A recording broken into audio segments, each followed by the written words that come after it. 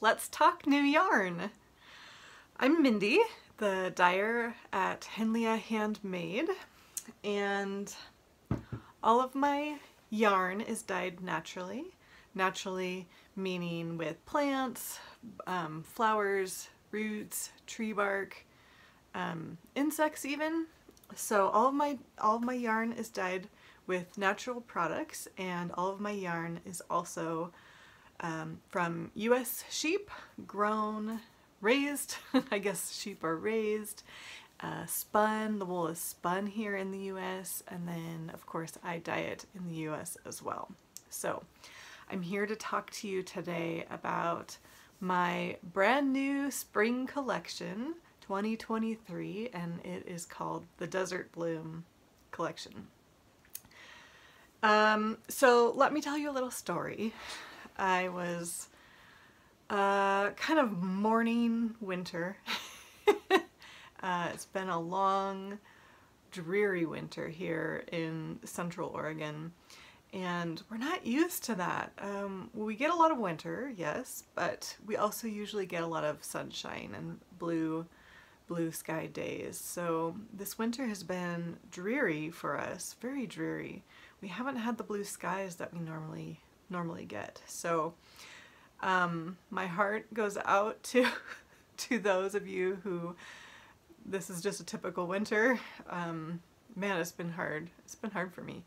I'm very much looking forward to when it warms up and the sun comes out again and I can spend my mornings working on my on my porch. So anyway, so the Desert Bloom collection. I was mourning winter. um, just kind of dreaming about springtime and the flowers and the blue sky and, and just the, the occasional warm sunny days that we get here in the spring. And, um, and I just looked out in my yard and I thought, wouldn't that be cool to see a full desert bloom out in my yard? Um, my yard is very um, um, natural. It's not landscaped. It's a lot of dirt, a lot of um, lava rocks, juniper trees, and um, not really much landscape, not much landscaping. And um, I just thought, wow, wouldn't that be amazing if when I looked out my window, I just saw this, like everything was just blooming. And um, that kind of, that brought me the idea of coming up with a whole collection based on a desert bloom. So um, I had a lot of fun with this. This was me dreaming about what my yard could look like if it actually had flowering plants in it, besides just sagebrush. Um, okay, so I want to show you everything, um, and I will uh, do my best to remember the names properly. Um, when I when I come out with a new collection, it takes me a minute to remember my the new the all the colorway names, and um, sometimes I, uh, especially if I, when I'm on video and put on the spot, I'll I will sometimes forget. So if that happens, I apologize.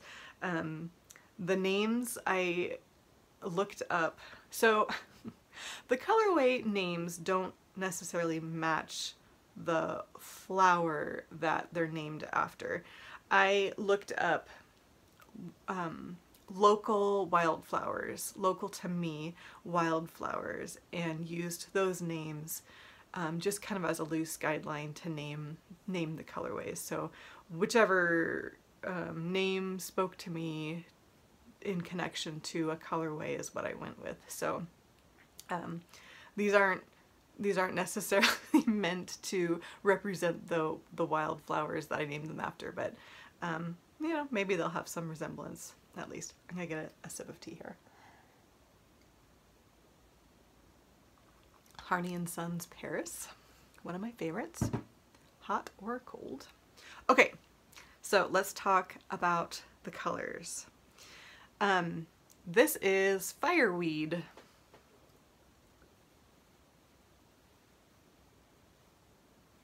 This is the fingering weight.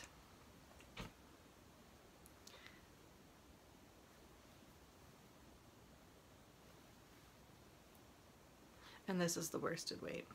So these have lots of pinks, um, lots of different shades of pink, um, some, excuse me, some little pops of oranges and yellows, um,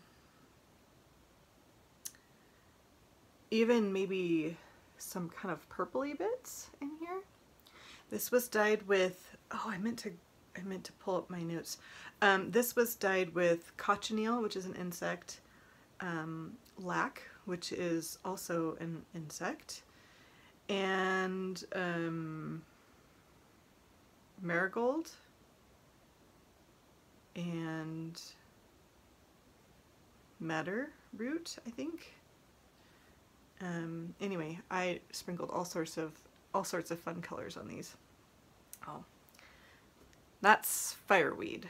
Okay, next I have um, columbine, and that looks like this.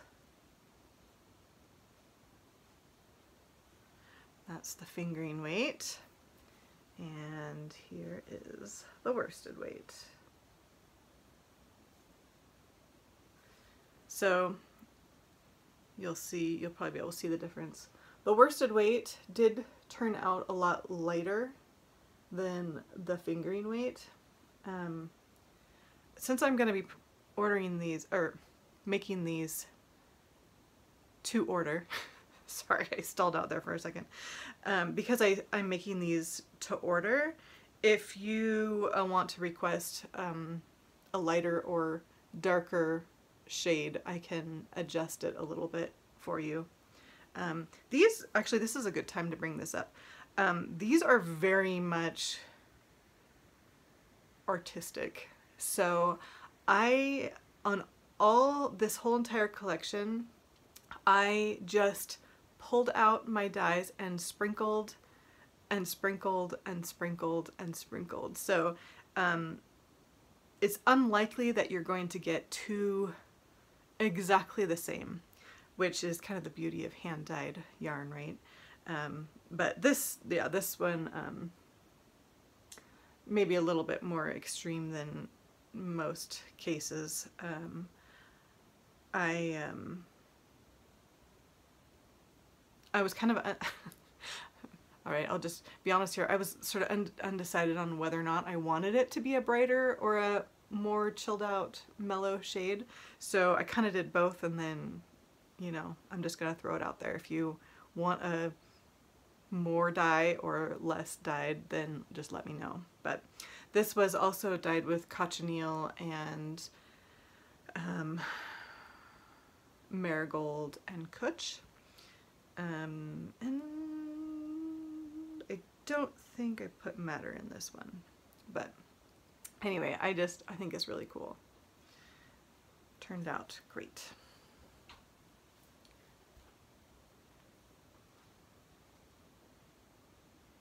Um, okay, let's go with Prairie Star.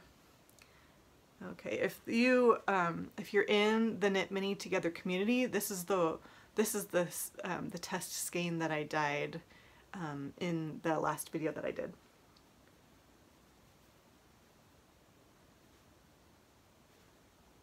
So that's the fingering weight. And then this is the worsted weight. And this is dyed with um, Cooch and uh, cochineal, uh, just a little bit of cochineal and lac. This um, this was my first experience ever dyeing with lac, and it's a purple. Uh, it's a pink and a purple, I guess, uh, what I should say. Um, and so this was this was one this was really fun because I hadn't actually uh, used that dye before. So anyway, it's fun. Um, I like these because they kind of are a more chilled out counterpart to say fireweed. So these are all designed to coordinate together so you could fade with these. Um, or if you were doing maybe a two um, colorway shawl and you needed one like a, a bright colorway and then a more, more mellow colorway for the contrast, these would be these would be great. These would be great together. That is Prairie Prairie Star. These were just so much fun to make. Um, I hope I hope you love them as much as I do because um, these were just a lot of fun. Uh, I just, I, I felt kind of like a mad scientist, like, all right, I'm just gonna take a sprinkle of this and a sprinkle of that, and I'm gonna put a little bit of this here and a little bit of that there, and oh yeah, I think I maybe want a little more. it, was, it was a lot of fun. I don't usually just like let loose like that because um, I don't, well, because natural dyes are precious and I hate to, um, I hate to use the word waste, but um, experimenting can sometimes be challenging because if they don't, if it doesn't turn out at all, then I'm just out the yarn and the dye and um, like a, a container of natural dyes costs a significantly, um, significantly more than acid dyes. A little jar of acid dye is going to last a really, really long time in most cases, whereas um, natural dyes are consumed quite quickly. So anyway, this is Larkspur.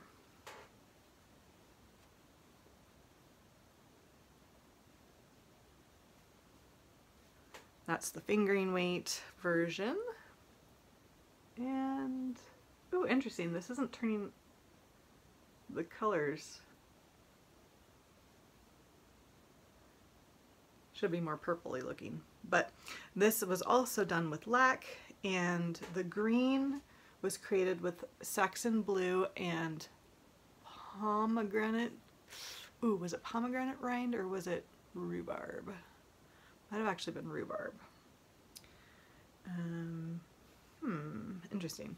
Well, anyway, this, um, I intentionally left, tried to leave some blank spots um, to make it more variegated. That's Larkspur. I really like this one too. Um, and it also looks really, really great with uh, Prairie Star. Because Prairie Star doesn't have a ton of that purple in it. It's more the um, tan light brown Kutch. So these um, these coordinate really well. Okay, Spotted Fritillary is up next. That is this one. As I was pulling this off my shelf, I my finger, my little pinky grabbed a loop, so I'm gonna need to rewind this up. But this, um, that's the fingering weight. And then here is the worsted weight. This one was a lot of fun to create too because it was very much a little bit of this and a little bit of that um, dye style. It has um, black and Saxon blue and some of the green that I used for Larkspur and I put um, a bunch of marigolds on there and possibly even some Kutch. I was trying with this, I was trying to see how many colors I could put on a skein without just turning them super muddy and, um, you know, unattractive. And uh, this was, yeah, it worked out really, really well. It worked out really well actually. So spotted fritillary. Next up is monkey flower.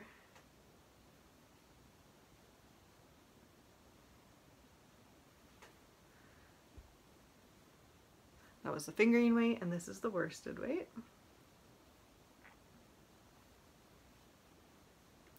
This was the, you know, it's a the base color is blue and then um, it has purple and yellow and green.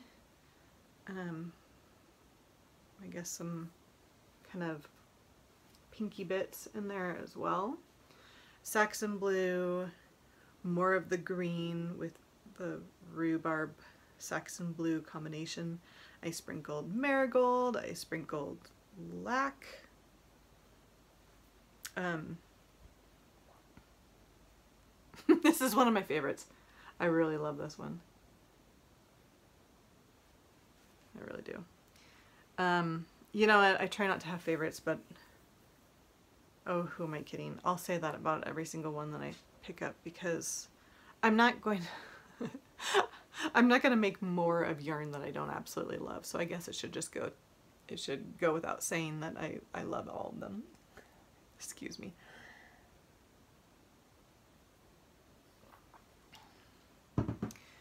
Okay, Queen's Cup is up. This is Queen's Cup on fingering and Queen's Cup on worsted.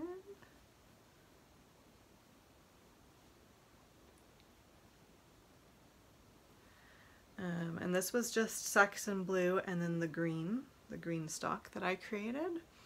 Um, it's such a pleasing colorway. It's um,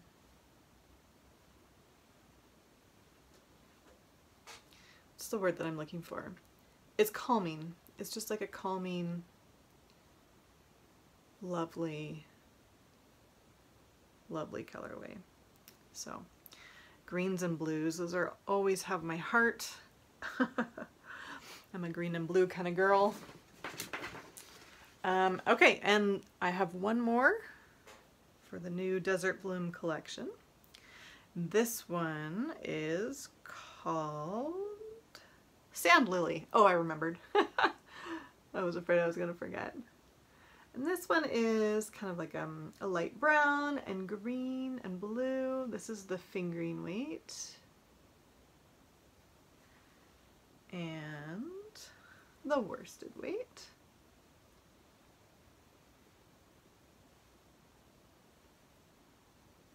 I like this one um, as a neutral, kind of a more chilled out neutral as well. Um, it looks great with monkey flower. It looks great with spotted fritillary. Um, it looks great with columbine. It's, um, yeah, I kind of, I kind of see this as sort of a neutral. Um, that would also be great for if you need um, a, like a brighter colorway and a more chilled out, calm, calming colorway, then um, I think Sand Lily would be great. It's also um, certainly can stand on its own as well it's um, it's it's beautiful too. So that is the Desert Bloom collection.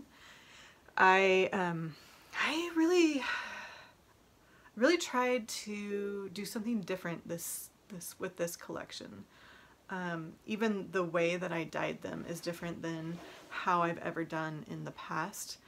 Um, each skein, I can only do dye one skein at a time. This, um, or per dye pot, I guess, is um, what I'm trying to say. So I can technically dye three skeins at a time, but they're all going to be in their own, they're all going to be in their own dye pot. So um, the reason I did that is because I wanted to try to get them as variegated as I could possibly get them. So I lay the skein out and I really kind of like stretch it out as much as I can so that I have enough, um, so I see as much surface as possible and then just sprinkle, sprinkle, sprinkle, sprinkle, sprinkle, sprinkle, sprinkle. The, um, this is a difference between natural dyes and acid dyes. Um, I shouldn't speak with authority on this because, because I'm not super familiar with acid dyes, but from what I've seen, um, with acid dyes, there's quick striking colors, so you can sprinkle the color on as long as you have um, your citric acid in there and it will strike and then um, you can flip the yarn over and do it the same on the back. Um, that's really tough to do with natural dyes. I haven't figured out how to do that yet with natural dyes, but um, this really was my attempt at making a more variegated colorway, colorways than what I've been able to create in the past. So um, I think I think I've been successful with that and I'm happy with how, very happy with how, how it all turned out. So um, the dye consumption is probably more reckless than I've ever used the actual dyes in their raw form. Um, but it's been so fun to see how it all turns out and um, and I'm yeah I hope you I hope you love it like I love it. Uh, the other thing I wanted to mention was on the product listing pages um, I included a little video it's just like a 10 second clip of me doing this just kind of turning the oop, oh, turning the yarn around so that you can see, have a better idea of what it looks like if it was actually in your hand. Um, photography um, can be a challenge for me, so I just tried to um, add a little something extra to hopefully help. Um, let me know if that helps or not, um, because, you know, I don't know, maybe I can do it even better next time. Um, yeah, just let me know if that if that was beneficial or not, and if I should even keep doing it. Maybe I maybe I shouldn't even spend my time doing it next time. But um, yeah, so that's that's Desert Bloom, and if I could turn my uh, barren yard and property into these colors, I totally would do it. If I had a magic wand, I would just whip that wand out right now and give uh, give the landscape some some great color. Um, uh, yeah, that's what I have for you today. I just wanted to show off the new collection. Uh, do let me know if you have any questions. Um, I'm always open to suggestions. Um, I'm here. I'm here, just let me know what you want and um, you know, I'll let you know if I think that I can do it or not. But uh, yeah, oh, um, yeah, the, the big thing. So I am this launching this collection as a, a made to order collection. So I don't typically do that. Um, but because, um, I guess probably just because of the quantity of dye that I've had to use with this collection. I didn't want to over make. So um, I'm just going to make them to order this time and see how that goes. If you love it, let me know. If you hate it, let me know that too. Um, I know I know sometimes you just want to order something and get it right away.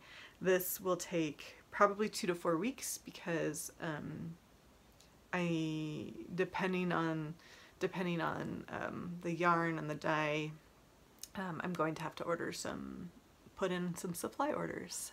So, um, yeah, I'm here. Let me know. Let me know what you think. Let me know your thoughts. I'd love to hear them. Always trying to do better and make make things for you that you want. so um, you can see the full collection. I'll put the link below but it's um, at henliahandmade.product dash category slash backslash desert dash bloom. Sorry, that's really long, um, but I'll, I'll link it down there. Um, yeah. And if you are new to Henlia Handmade and you do not get my emails and the sales notifications and all that, um, please do sign up. That is bit.ly backslash fiber friends and you will get 20% off your, your order for signing up. So try something new and you can get 20% off. So uh, until next time,